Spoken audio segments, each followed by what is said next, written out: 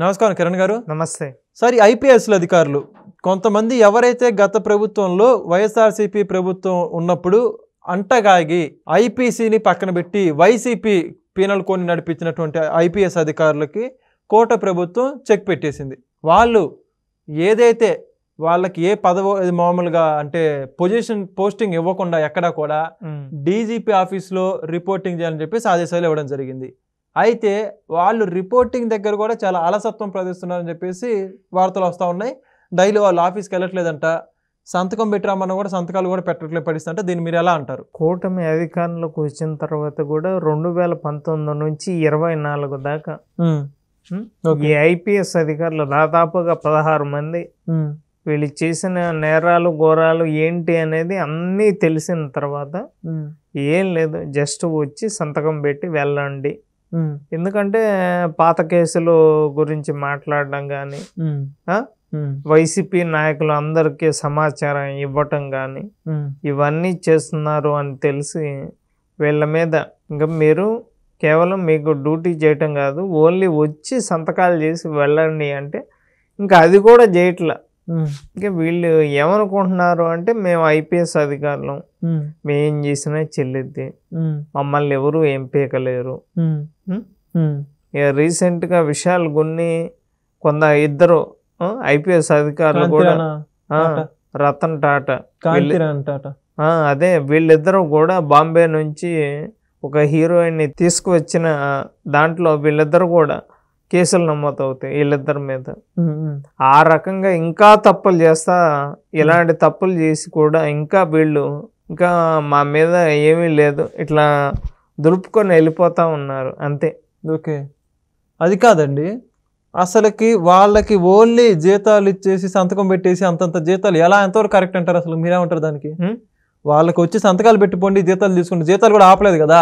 నా గతంలో చూసుకుంటే ఏబి వెంకటేశ్వర్ల గారికి ఐదు సంవత్సరాలు పోస్టింగ్ ఇవ్వలేదు జీతం ఇవ్వలేదు మరి ఆయనకి. వీళ్ళకి జీతం ఇస్తున్నారు ఇంకా సంతకం పెట్టిపోచ్చాలి. ఏందంటారు అసలు ఇది? ఎలా అర్థం అప్పుడు జగన్మోహన్ రెడ్డికను బాబు గారికి తేడా ఏముంటుంది? ఇప్పుడు ఏంటంటే వీళ్ళు చేసిన తప్పులకి వీళ్ళ ఫ్యామిలీలు ఇబ్బంది పడకూడదు కదా. ఏదన్నా ఫ్యామిలీస్ ఇబ్బంది పడకూడదు అనే ఉద్దేశంతో వీళ్ళకి శాలరీస్ ఇవ్వటం జరుగుతుంది. జగన్మోహన్ రెడ్డి అంటే ఒక రాక్షసుడు. బాబు గారి మీదే తప్పుడు కేసులు పెట్టి ఓకే. బాబు గారే జైలుకి వెళ్తే మరి నీ మీద అన్ని కేసులు ఉన్నాయి? చిన్న ఆలోచన కూడా రాలేదా నీకు? నువ్వు జైలుకు పోతావని? నువ్వు తప్పు చేసేది కాక ఎంతో మంది ఉన్నతాధికారులను కూడా తప్పు చేసే విధంగా? ఓకే. రాష్ట్రాన్ని సర్వనాశనం చేసావు. ఇప్పుడు అందరూ ఐపీఎస్ అధికారులు అందరూ బయటపడ్డారు. ఇంకా ఏమన్నా భయపడుతున్నారా అంటే ఏం భయపడలా?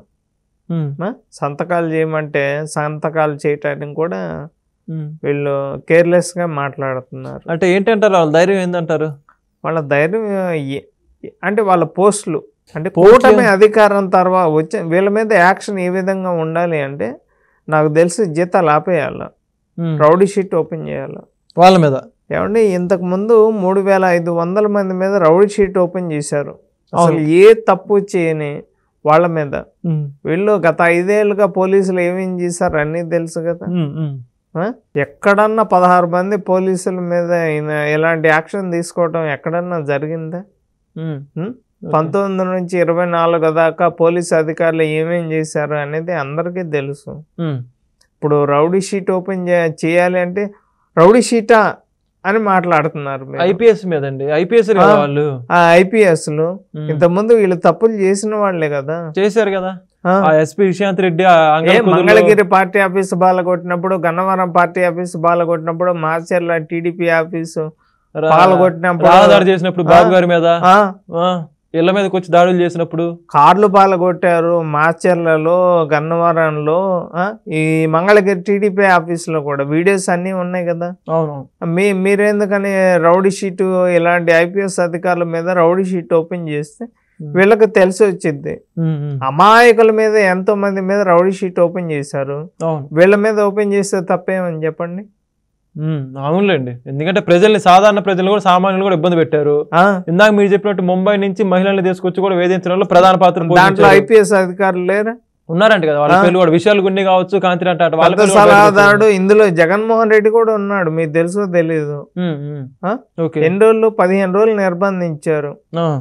అవును. ఆ మీద అత్యాచారం కూడా చేశారు. ఓకే. మరి దీంట్లో మరి పక్కలేసింది ఐపీఎస్ అధికారులు. మరి ఎలాంటి వాళ్ళకి ఎలాంటి శిక్షలు వేయాలి చెప్పండి మీరే? అదే. ఇంకోటి బాంబేలో కేసు కూడా నమోదు చేసింది. ఇప్పుడు బయటకు వచ్చిందంటారా ఆవిడ? మొత్తం ఇప్పుడు ఎక్కడ ఏంటి అని ఆ బయటకు రా మాట్లాడలేకపోతుంది చెప్పలేకపోతుంది. వాళ్ళంతా రౌడీ షీటర్లు అని చెప్పి ఒక భయపడిపోతుంది? భయపడిపోతుంది ఆడియో మాత్రం వచ్చింది. ఆ, అవునులే వాడే కాల్ వచ్చిందండి ఫోన్ కాల్ మాట్లాడుతూ రికార్డింగ్ బయటకు రావడం జరిగింది. అవును. ఇంకోటి ఏంటంటే వీళ్ళు ఎప్పుడైతే సంతకాలు పెట్టండి అని చెప్పారో అప్పటి నుంచి కూడా వీళ్ళు అనేది సెలవుల మీద వెళ్ళిపోయారంటండి? సెలవుల మీద వెళ్ళిపోయారంట ఐపీఎస్ అధికారులు. ఐపీఎస్ డీజీపీ ఆఫీస్లో వచ్చి సంతకాలు పెట్టి ఈవినింగ్ వరకు ఉండండి అంటే రావట్లేదంట సెలవుల మీద వెళ్ళిపోతున్నారంట అసలు స్పందన లేదంట మళ్ళీ. లుకౌట్ నోటీసులు ఇవ్వాలా? ఎఫ్ఐఆర్ నమోదు చేయాలా. ఫార్టీ వన్ నోటీసులు ఇ- ఇచ్చేయాలా ఓకే. వీళ్ళందరికీ. ఇంకా వీళ్ళు ఎందుకంటే వాళ్ళు విదేశాలకు వెళ్ళే ఆలోచనలో కూడా ఉన్నారు. సెలవు పెట్టారు. ఓకే. వీళ్ళ మీద కేసులు నమోదు చేయాలి. తక్షణమే అరెస్ట్ చేయాలి. ఓకే. వీళ్ళు కేసులు వీళ్ళ మీద గతంలో వీరైతే తప్పిదాల్లో పాల్గొన్నారో ఆ కేసులు ఎక్కడ కూటమి ప్రభుత్వం మళ్ళీ తిరిగి తవ్వి బయటకు తీస్తుందా అని చెప్పేసి ఆ కేసులు నీరు గార్చే విధంగా కింది స్థాయి అధికారులు కూడా ప్రలోభాలకు గురి చేస్తా ఉన్నారంట ఇప్పుడు వాళ్ళు. ఫైల్స్ తగలబడ్డాయి మీరు చూడలేదా? నెల్లూరులో ఫైల్స్ తగలబడ్డాయి మదనపల్లిలో ఫైల్స్ తగలబడ్డాయి అవును. తిరుపతిలో ఫైల్స్ తగలబడ్డాయి పోలవరం ప్రాజెక్టుకు సంబంధించి ఫైల్స్ తగలబడ్డాయి. ఇవన్నీ కూడా ఎవరు అధికారంలో ఉన్నప్పుడు జరిగినాయి తెలుసా? కూటమి అధికారంలో ఉన్నాక ఫైల్స్ తగలబడ్డాయి. అవును. మరి ఎంతమంది పోలీస్ ఆఫీసర్లు ఎంతమంది గవర్నమెంట్ ఎంప్లాయీస్ ఉండాలి దీంట్లో? అదే కదా దాంట్లో మరి అది ఎలా దాన్ని మొత్తం ఛేదించాలంటారు మరి? ఎలా ఏముందండి? మరి ఎలా దొరుకుతారు ఇంకా ఐపీఎస్ అధికారులు? తప్పు చేసిన? ఉన్నారు కదా. వైసీపీ వాళ్ళే ఉన్నారు. ఇంకా అధికారంలో ఉన్న కూటమి అధికారంలో ఉన్నా కూడా ఇంకా వైసీపీ వాళ్ళ ఆటలో చెల్లుతున్నాయి అంటే చూడండి ఇంకా ఎంతమంది ఉన్నారు? ఓకే. మీకు ఇంకా పూర్తిగా అర్థమైందో అర్థం కాలేదో నాకైతే అర్థం కావట్లేదు అర్థం అర్థమైందండి. చివరిగా ఇప్పుడు ఈ పదహారు మంది కావచ్చు రిమైనింగ్ ఎవరైతే వైసీపీ కోసం పనిచేసిన వైసీపీ ఏమంటారు మీరేమంటారు ఐపీఎస్ అధికారులకి. నేను చెప్పా కదా రౌడీ షీట్ ఓపెన్ చేయటమే తక్షణమే ఫార్టీ వన్ నోటీసులు ఇచ్చి ఎఫ్ఐఆర్ నమోదు చేసి లోపల వేయటమే. లోపల లేట్ చేయకూడదు ఎందుకంటే సెలవులు పెట్టి ఫారెన్ వెళ్ళిపోతే ఎవరు బాధ్యులు? అంటే మీరు వెళ్ళిపోయిన దాకా ఆగుతున్నారు. అధికారంలోకి వచ్చిన తర్వాత వీళ్ళ మీద రెడ్ బుక్లో వీళ్ళందరూ ఉన్నారని తెలియదా వల్లభనేని వంశీ గాని కొడాల నాని గాని రోజా గాని వీళ్ళందరూ పేరున కిట్టు గాని వెళ్ళిపోయాడు. వాడు ఢిల్లీ ఫ్లైట్ ఎక్కి దుబాయ్ వెళ్ళిపోయాడు. దేవినేని అవినాష్ కూడా వెళ్ళబోతుంటే అతనికి తర్వాత ఇంకా అప్పుడు మేల్కొన్నాడు. లుకౌట్ నోటీసులు ఇచ్చారు. మంగళగిరి పార్టీ ఆఫీస్ మీద దాడి చేసిన దాంట్లో? వీళ్ళు మళ్ళీ కోర్టులో బెయిల్ కోసం అప్లై చేయటం. అందరికి లుకౌట్ నోటీసులు ఇవ్వచ్చు కదండి? వైసీపీ వాళ్ళందరికీ లుకౌట్ నోటీసులు ఇవ్వచ్చు కదా. నాకు తెలిసి అధికారుల కూటమి అధికారంలోకి వచ్చిన తర్వాత ఎమ్మటే ఇచ్చేసినట్టయితే ఈ రోజే పారిపోయేది కాదు ఉమ్, వల్లభనేని వంశీ పారిపోయేవాడు కాదు? కొడాల నాని పారిపోయేవాడు కాదు? కిషోర్ త్వరగా కిషోర్. తుర్కా కిషోర్ ఉన్నాడండి. తుర్కా కిషోర్ ఇండియాలోనే ఉన్నాడు. వాళ్ళ పిన్నెలు తమ్ముడు కావచ్చు రెండు రోజుల్లో బర్త్డే ఫంక్షన్ చేసుకోవడానికి సిద్ధం అవుతున్నాడు. నాకు తెలిసి వాడి బర్త్డేకి గిఫ్ట్గా వాడి లోపల అయితే బాగుంటుంది అనేది నా ఉద్దేశం బర్త్డే గిఫ్ట్ అంటారా వాడికి బర్త్డే గిఫ్ట్ ఇవ్వాలి లోపల వాడికి కేక్ కట్ చేసే బాధ్యత. ఈసారి పోలీసులు. తీసుకోవాలా పోలీసులు తీసుకోవాలి పట్టుకుంటారంటారా పోలీసులు ఇన్ని రోజులు పట్టుకోలేదు ఇప్పుడు ఎలా పట్టుకుంటారు ఇంకా అండి అసలు తప్పించిందే వాళ్ళిద్దరిని తప్పించిందే పోలీసులు మీకు. తెలుసా? మీ మీద కేసులు నమోదు అవుతున్నాయి. కోర్టులు కూడా ఎన్నిసార్లు అసలు కోర్టులో ఏం జరుగుతుందో మాకు అర్థం కావట్లేదు. పోలీసులు ఎందుకు ఇట్లా చేస్తున్నారో అర్థం కావట్లేదు. కూటమి అధికారంలో మళ్ళీ సీఎం మాత్రం బాబు గారే. కూటమి అధికారంలో వచ్చింది. నూట అరవై నాలుగు సీట్లు వచ్చినాయి? చెప్పుకోవడానికి? చెప్పుకోవడానికి నైన్టీన్ నైన్టీ ఫోర్ బాబుని చూస్తారు అన్నారు. మరి ఏం చూస్తున్నామో ఏమో మాకైతే అర్థం కాదు ఇంకా ముందుందిలేండి రెండు నెలలే కదా అయిపోయింది. ఇంకా ఏమన్నంటే ముందుంది ముందుంది అంటున్నారు మరి. ఏం ముందుందండి బాబు? జగన్మోహన్ రెడ్డిని లోపల వేయాలా? ఇన్ని అరాచకాలు వీళ్ళు అనంతబాబు ఏందండి ఇంత వీడియోస్ ఇవన్నీ బయటకు వచ్చిన తర్వాత వీళ్ళ మీద ఎందుకు యాక్షన్ తీసుకోవట్లా? ఎవరు ద్వారం దానికి సంబంధించి?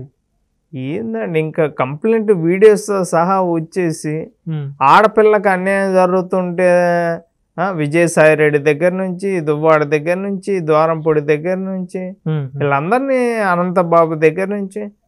ఇంత వీడియోస్ మొత్తం రిలీజ్ చేసి ఏమంటున్నాడు? ఆ వీడియో నాది కాదు నేను కాదు అంటున్నాడు ఆయన. అవునవును. ఏం చెప్పాలి దానికి? చూద్దాం ఖచ్చితంగా దీనికి. కూటమి స్పందించాలా దీనికి? మేమంటే వీడియోస్ చేస్తూ ఉంటాం ఎవరెవరు ఏ తప్పులు చేశారు ఏంటి అనేది చెప్తా ఉంటాం. ఇప్పుడు బాంబే కేసు సజ్జలు కానీ లోపలేయాలా? విశాల్ గున్నిని లోపలేయాలా? ఆ రతన్ టాటాని లోపలేయాలా? దాంట్లో కుక్కల విద్యాసాగర్ ఉన్నాడు. దీంట్లో జగన్మోహన్ రెడ్డి కూడా ఉన్నాడు. అసలు త్రీ నాట్ సెవెన్ కేసు నమోదయ్యి ఎఫ్ఐఆర్లో పేరు రాసిన తర్వాత కూడా ఇంకా అరెస్ట్ చేయలేదు అంటే జగన్మోహన్ రెడ్డిని. మాకు అర్థం కావట్లేదు అసలు ఏం జరుగుతుందో. ఓకే. మా మాకు అప్పుడప్పుడు చిన్న డౌట్ ఏంటంటే కూటమి అధికారంలో ఉందా వైసీపీ అధికారంలో ఉందా అనే డౌట్ కూడా మాకు వస్తుంది. కింద స్థాయి అధికారులు ఈ పనులన్నీ జరిగే జరిగే. చూస్తున్నాం కదా ఫైల్స్ తగలబట్టం కానీ ఇవన్నీ కూడా మీకు సంబంధించి కూటమి ఏదన్నా ఇది భవిష్యత్తు ప్లాన్ ఏమన్నా ఉందా అండి? ఏంటేంటి ఇప్పుడు మీరు చెప్పారు కదా కోట ఇట్లా ఇన్ని జరుగుతున్నా కూటమి అధికారంలో ఉందా వైసీపీ అధికారంలో ఉందా డౌట్లు వస్తున్నాయంటే ఇది నా భవిష్యత్తులో కూటమి ఏదైనా ప్లాన్ వేసుకుందా? ఇవన్నీ ఒక్కసారిగా నిర్మూలించడానికి లేకపోతే గట్టిగా ఆధారాలతో పట్టుకుందాం ఏమన్నా అంటారా? అంటే పిన్నెల్ని లోపలేయటం కానీ ఉమ్. పిన్నెల్ని ఇంకా ఎవరిని వేసారు లోపల? ఇంకెవరు లేరు కదా. ఎవరు పిన్నెలకు కూడా బెయిల్ వచ్చి బయట తిరుగుతున్నాడు యాభై రోజులు. పిన్నెల్లి బయట ఇచ్చాడు. జోగి రాజు ఊరక తూతు. మంత్రంగా వీళ్ళేందో మనం ఏమన్నా అనుకుంటారేమో కూటమి టీడీపీ కార్యకర్తలు ఏమన్నా అనుకుంటారేమో అని చెప్పి ఊరక లోపల తీసుకొని వెళ్ళి జైల్లో ఏ సౌకర్యాలు చేశారో కూడా తెలియదు మళ్ళీ. వంద కోట్లు స్కామ్ చేసిన దానికి ఐదు నెలలుగా శిక్ష అనుభవించింది కవిత. మరి ఆ లెక్కన రాష్ట్రాన్ని ఎంత సర్వనాశనం చేసిన వీళ్ళందరినీ ఎట్లా వేయాలండి లోపల. రాజధాని లేకుండా ప్రతిదీ స్కామ్. ఒక్క పప్పుల స్కామే మూడు కోట్ల అరవై రెండు లక్షలు. ఎత్తి లోపల వేయచ్చు. ఎలకను పట్టుకోవడానికి కోటి ముప్పై నాలుగు లక్షల. నిమ్మకాయ నీళ్ళు తాగడానికి ఇరవై ఎనిమిది లక్షల. ఏంది ఇది? ఇంకే దేని మీద అరెస్ట్ చేస్తారండి? నాకు అర్థం కావట్లే. ఇన్ని తప్పులు బయటపడ్డా కూడా జగన్మోహన్ రెడ్డి మీద ఎందుకని యాక్షన్ తీసుకోవట్లా? వాళ్ళ వైసీపీ నాయకుల మీద చేసిన అన్ని బయట పెడుతున్నారు రోజు రోజుకి. ఎవరిని అరెస్ట్ చేయట్లేదు ఏందా అనేది మాకు అర్థం కావట్లే ఇంకా. ఓకే. అర్థం కాని ప్రశ్నగా ఉంది మాకు. చూద్దాం ఖచ్చితంగా దీనికి సంబంధించి కూటమి ప్రభుత్వం స్పందించి వాళ్ళు చేసిన తప్పులు మొత్తం మేము వీడియోల రూపంలో ప్రజలందరికీ తెలియజేస్తున్నాము. మరి మీ కూటమి మీరే కదా అధికారంలో ఉంది మరి మీరు ఎందుకు యాక్షన్ తీసుకోవట్లేదు అంటే దానికి నేనేం సమాధానం చెప్తా చెప్పండి. అదే నా వరకు అంటే నేను వీడియో చేయటం వాటికి. ఇంకంతా లోకేష్ గారు కానీ అన్ని చూసుకోవాలి ఇంకా?